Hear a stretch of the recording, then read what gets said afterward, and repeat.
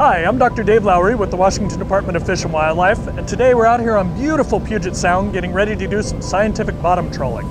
The trawling that we're doing drags a net across the bottom and samples fish, and we use the information that we collect to estimate the abundance and distribution of these animals. Today we'll hit a variety of stations. You'll see some common species, hopefully some rare ones, maybe some you've never even seen before. So step aboard and join me for a day in the life of a fisheries biologist.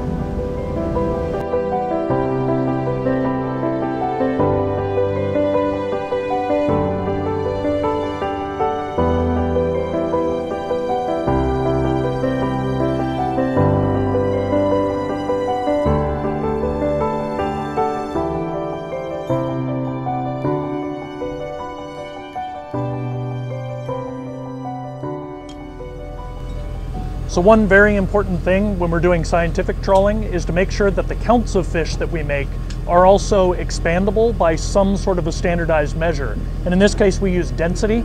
So we use a variety of tools to instrument the net.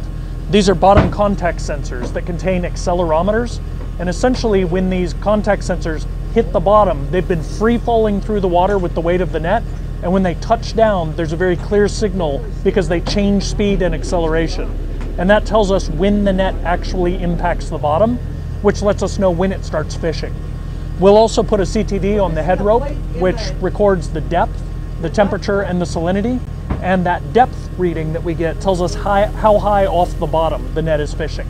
So the bottom has made contact, and now the head rope or the top of the mouth of the net is at a fixed depth that we can get off of the CTD. Right now we're up in the wheelhouse where Jen is recording the basic information that we need about where the trawl is occurring, what depth, how much wire is going out to put the net on the bottom. This is all information that we later use to determine, again, where we've been and what we're catching in those given locations.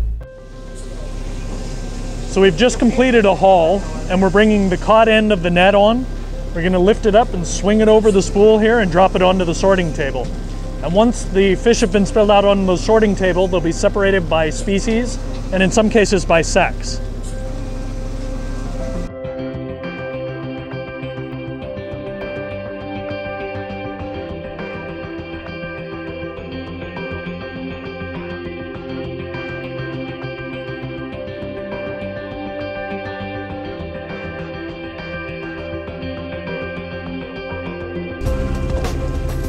So as you can see, there's a variety of fish on the table here. There are also several invertebrate species, mostly crab and shrimp in this haul.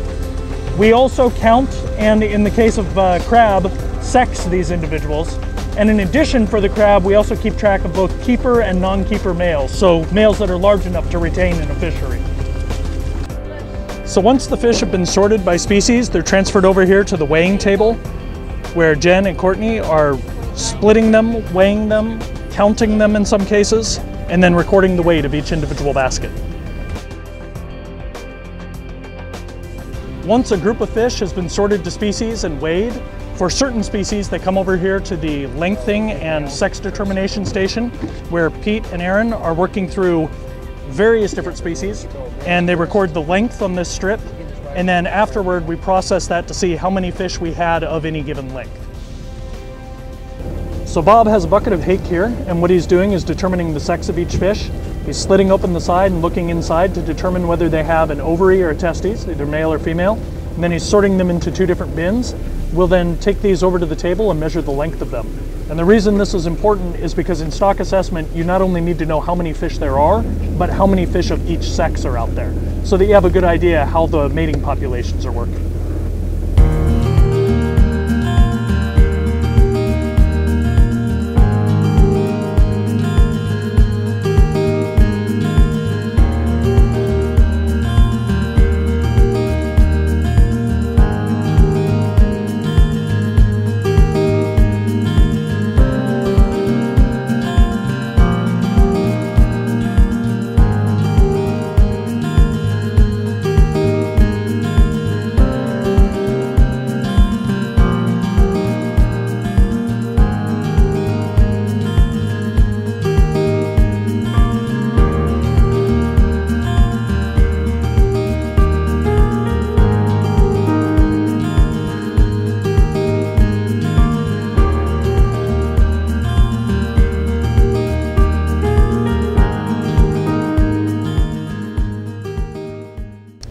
In addition to sampling adult fish, in the past couple of years, we've added taking vertical plankton tows to our sampling regime.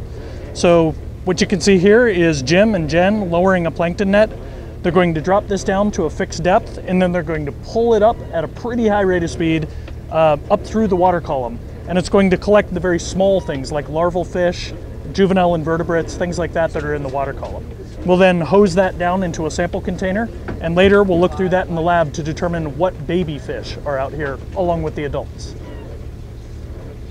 For some species, we take genetic samples. We take a small clip of tissue from the fin of the fish, we put it into alcohol, and later we pass this over to our genetics lab, who looks at population differences among different groups of fish in the sound. So we're coming to the end of a beautiful day on the water. We've done several tows, we've counted thousands of fish, but our work is nowhere near done. Now we take all of this information together with information from several more days of trawling back to the lab. We create density estimates, we look at distribution patterns for these fish, we compare to what's happened over the years, and ultimately that gives us a lot of power to really look at how these populations are changing over time.